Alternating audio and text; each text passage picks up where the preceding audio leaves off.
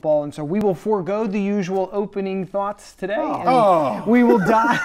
oh, come on. on the channel, there you see Cocalico Eagles, number one seed there, eight and two, followed by Cedar Cliff, Shippensburg, and then our other local teams, Manheim Central and Warwick, also eight and two.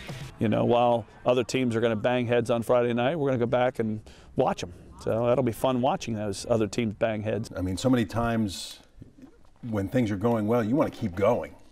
You know, now they get this week off. But on the flip side, you get a chance to rest some guys that, you know, might be a little bit dinged up right now. game if that if they would meet Governor Mifflin, that that'll just be run, run, run, run, run the whole time. It'll be the Warwick Warriors as they take on the uh, Mechanicsburg Wildcats in a 5-12 matchup. I think, you know, if, if you're Warwick, you go out and you take care of business, try and get that big lead, and then get some of those starters out. And the games that we have done, they were slow out of the gate. But I think you're right. You can't let a Mechanicsburg team, it's the first time they've been in the district since 2012, give them a little sense that they belong here. We enjoy the process of the season, but uh, I think everybody gets excited when it's playoff time in Manheim.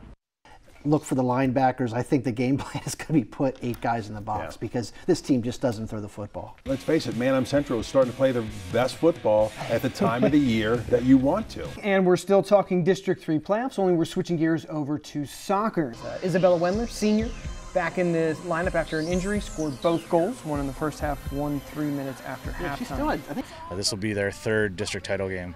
Uh, when you're playing a team that is on uh, a Cinderella run, uh, you had to put them under pressure, and our team really did a good job of that tonight. We get to play for the AAA District 3 championship, as I said, looking for second in a row. And control your own destiny. You can't play other games and do other things, and that's what they're doing. They're just winning the games they're supposed to win. And I thought really they played well, considering the circumstances too. I mean, a downpour, the way they were able to throw the ball, the defense clamped down. we're excited to bring it to you. We'll see you then.